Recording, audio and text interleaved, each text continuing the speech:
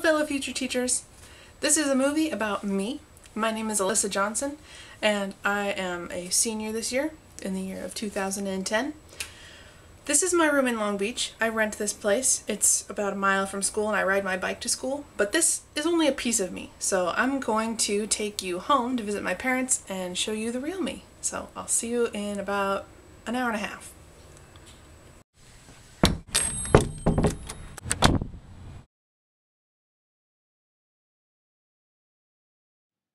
This is my tiny Christian high school. It was a private school called Linfield.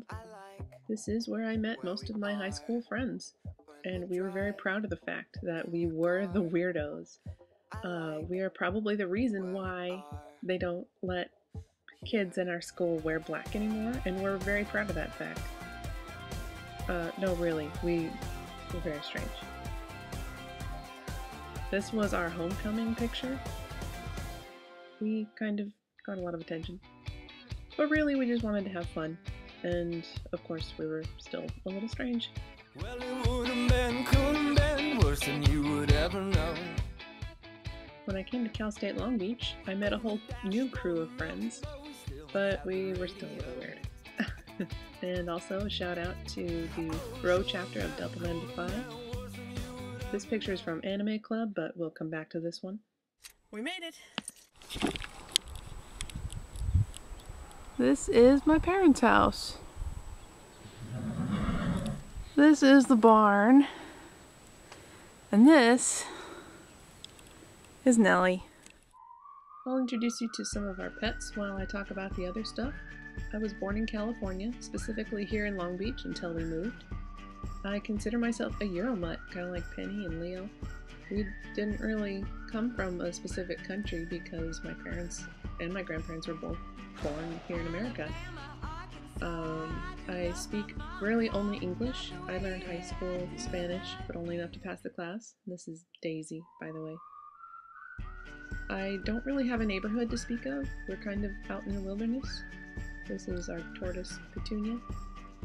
And uh, the reason I want to be a teacher is because, well, one, it's in my blood. My mom and uh, my, my aunts and my grandmother were all teachers.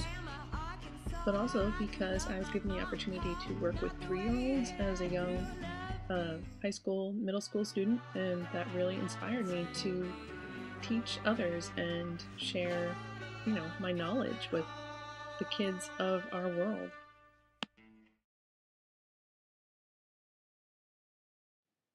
Now a little introductory to my family. This is my dad's side. Uh, my parents' wedding photo, me as a baby, and my brother as a baby. And this one was of us a little, little older.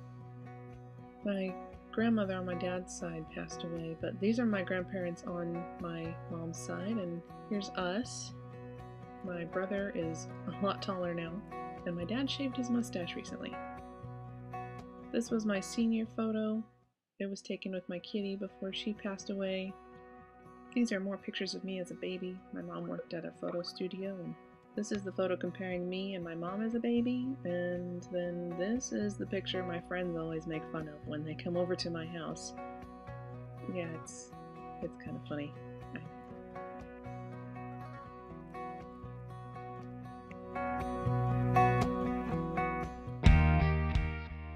This picture was taken on the first time I met Keith. Keith and I have been dating since my freshman year in college, so that means it's been over three years now. Wow.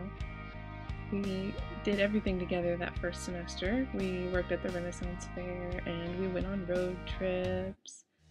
And then in 2008, he joined the military. He went into the Air Force. This is him at boot camp when I went to go see his graduation. He's now stationed in Misawa, Japan, and it's it's been hard, but we're uh, we're pushing through, and we're we're planning on getting married next year sometime. This is his family. This is us and his brothers and his mom, and then the the whole gang. And I'm so excited to become part of their family. And that's that's pretty much it about me. Thanks for watching.